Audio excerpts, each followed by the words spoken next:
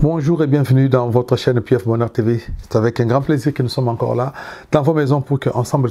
euh, qu'on essaie de réfléchir un peu ou de, de parler un peu sur euh, la situation ou, euh, je ne sais pas si je vais appeler ça une situation, un conflit, guerre, quelque chose comme ça. Ben, en fait, ce qui se passe entre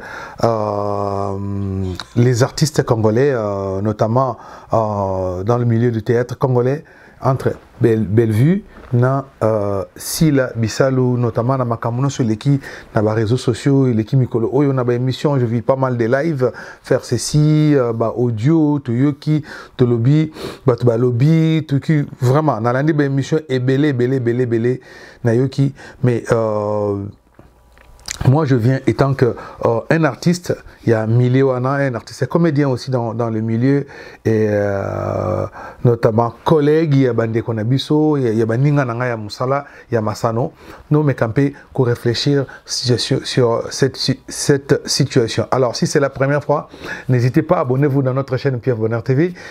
et activer la cloche de notification pour ne rien manquer. Mais aussi, si euh, vous pouvez aussi devenir membre en tout en cliquant juste sur rejoindre, cliquez sur joindre en bas. Dès que vous ouvrez notre euh, chaîne sur votre page YouTube, vous allez voir, euh, c'est écrit joindre. Vous cliquez là, choisissez une option et puis devenez membre. Et il y a plein, plein, plein, plein d'avantages quand tu deviens membre. et Salaka Bisso bien Makasi Zali, c'est aussi dans le cadre de soutenir votre frère euh, PFB, Papa Bonheur, l'inspecteur Colombo d'Eric, il y a YouTube congolaise. Alors nous allons parler de la situation, il y a euh, Bellevue, na, na Sila Bissalo, bande Konangaï, Et moi, je ne suis pas là pour faire euh, dire qui a tort, qui a raison, pourquoi c'est ci, pourquoi c'est cela, comme euh, Bandeko Bazali Koloba, Bandeko Moussou, Nenge Babimi, c'est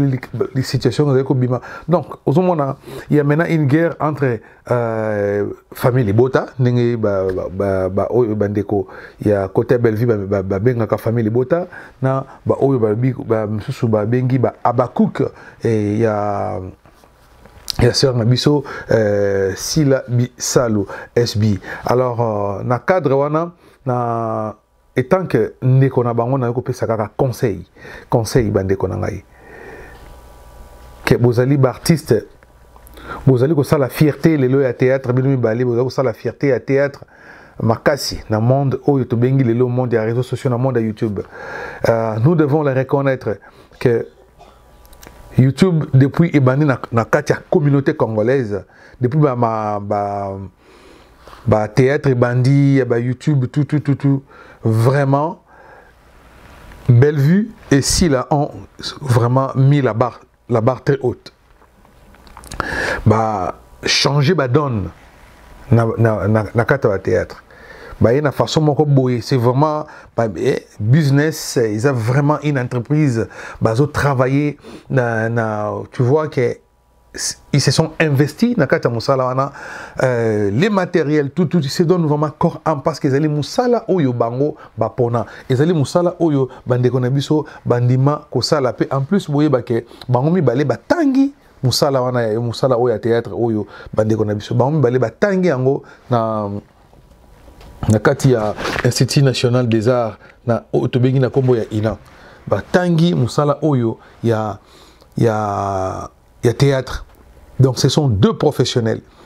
mais bandeko na nga moi je me pose la question pourquoi biso baoyo tozolanda bango bafane bozo euh, nakoloba bafane bazo créer conflit katikati ya baartiste na biso mpona nini ekopesa biso nini soki tomoni lelo sila bazopotana na bellevue tokoganye nini litomba nini oyo biso tokozwa na kati esengo na biso ekozala nini tomonake bato bayokanaka te bato bakamwana bato bakabwana bato bazala siko litomba na biso na kati ezali nini bazali bato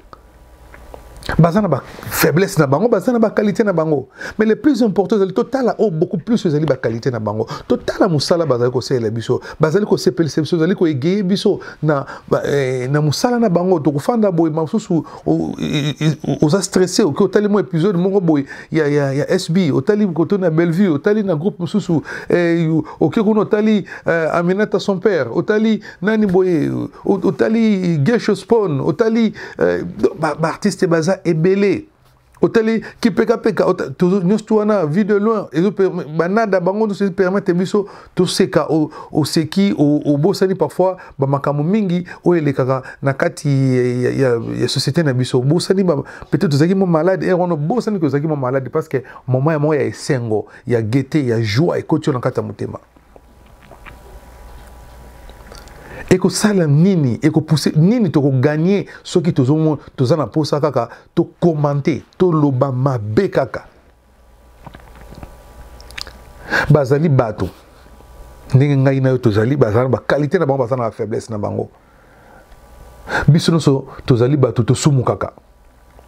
biso nyonso tosumukaka nakoki koloba likambo boma mosusu ekoblese moninga maso na ngai naloba likambo wana boye te maso ebimi bo moto mosusu azalaki wana interpretango ndenge mosusu ake alobi boye maso pete nalobaki likambo mosusu na nsima ya kanda mais après naye koregrete a ah, pourkui nalobaki yango na présente moninga mpe baexcuse pourquoi pourquoi pourquoi pourquoi nyonso tu wana ezali parce que bazali bato lokola ngai na yo ndenge ngai na yo tosalaka bagafe bango mpe basalaka bagafe bazali bato baza parfaite te pourquoi tokopelisa moto ole tosangisa bandeko nanga tozala bato tokosangisa bato tozala bato tokosangisaka bato me tozala baoyo tokopanza te baza bandeko na biso soki tomoni bango bakenda nzela mabe te bokende boye te à part ça baza mpe na baoyo babengi bavie privée na bango c'est-à-dire que lokola bazali bato mpe bazali eh, bahomme ba euh, ba et femme publique baza quand même mpe na vie oyo ezali ya kati na bango e mutu na mutu azali na oyo ndenge amemelaka makambo na ye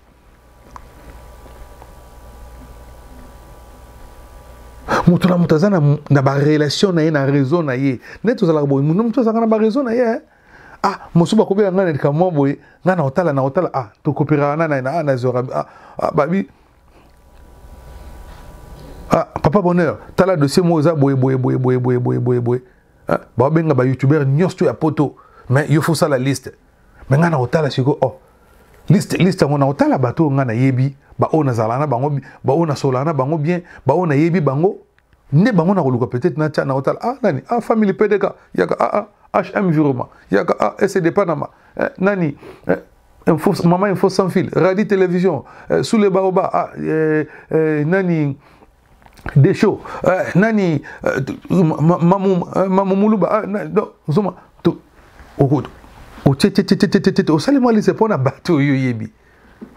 eza parce que moto na moto azalaka na mwa réseau na ye na mwa coin na ye moko boye azalaka c'est normal mais je sais pas comment ce que elekaka soki bali bainvite bango par exemple epa mama olive nayebi te ezalaka ndenge nini mama olive moto atindaka moto asala liste nayebi te abengaka banani est ce que ezalaka na moto azwaka décision kuna wana biso toyebi te mais totika kocreele bango baproblème na bareseau na bango parce que eza bango na bango bayebi ndenge nini bageraka makambo na bango ndenge nini basalaka mosala na bango kote kuna mais le plus important ezali awa bandeko na ngai biso totala mosala na bango bazali kosalela biso tosangisa bango topanza bango te tosangisa bango tokomi 2022 na 2022 dieu nous a fait grâce mingi bakufi alors tobandi mbula sika tobanda yango na makambo mpe ya bien na makambo ya malamu tozala baoyo oh, tokosangisa so tozala baoyo oh, tokopanza te soki te mokili ekotambola malamu susu te soki te mokili etambola malamu te nazosala appel na bellevue na sila boza na baproche na bino boyebake bino boza baleader boza ba leader bozo mema na ba groupe na bino bozo mema eza na bato mais boyeba ke bato mosusu bayaka pembeni na bino ba, ba ce sont des flatteurs bakoya kaka mpona oza oza akoma pire yo pour que otyaka ye kaka na otyaka ye azalaka na marché parce que aza na baobjectif ne mosusu akoya koluka acreelo peut-être baconflit akoma lokola soda moko bana oyoka no moto atolobaki likambo bo mpo ye amemi kuna donc c'est de la même de, de la même manière aussi na côté ya, ya nani ya bellevue botalaka baproche na bino il faut bobendaka baproche na bino matoi boyebake no métier oyo ya, ya art c'est un métier libéral ezali métier moko ezalaka trop trop trop compliqué trop bizarre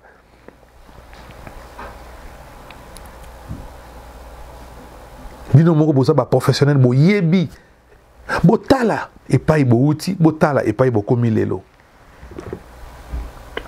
botala esika bowuti mpe botala esika bokomi lelo baflateur mingi bapembeni na bino bazalaka barenard ndenge Jean La Fontaine Jean de La Fontaine aloba hein, na, na les corbeaux et les renards tout flatteur vit au dépend de celui qui l'écoute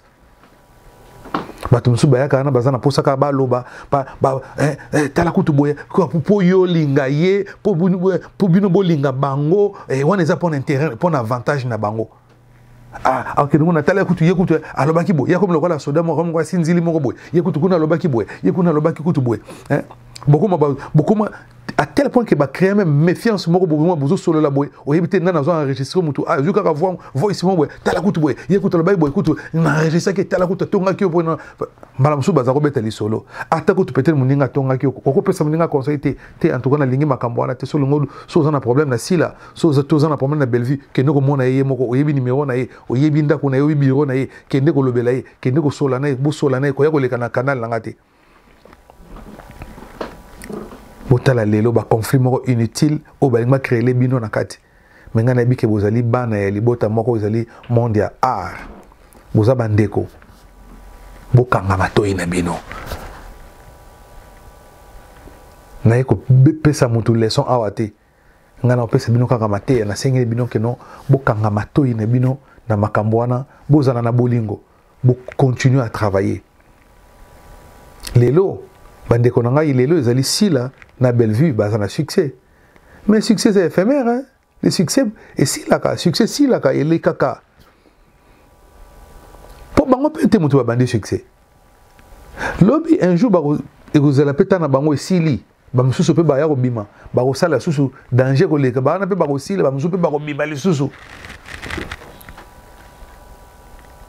mpo basere na biso bali pati bazalaka na basuccès ya kosakana te ke bato bazozele na ntongo alamuka bamona parce que batalaki ye jeudi na, na, na, na, na, na groupe salongo na rtnc mais lelo lipati mpe akoma azoleka na ye mpe boye ah, eh, mbote lipati donc eza su ndenge ezalaki c'était que succès esilaka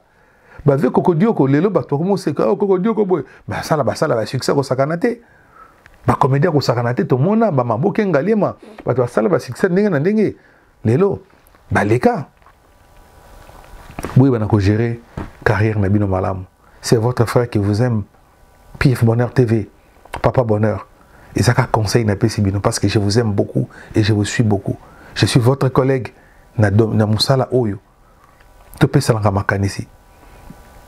topesanaka makanisi biso na biso ntango tozali na bomoi tobenganaka tosolola ndeko na ngai ndenge nini ah te makambo wana kolanda bo kolanda te korepondre te loba boye te kutana na moninga bosolola si ya un problème oyebana kobongisa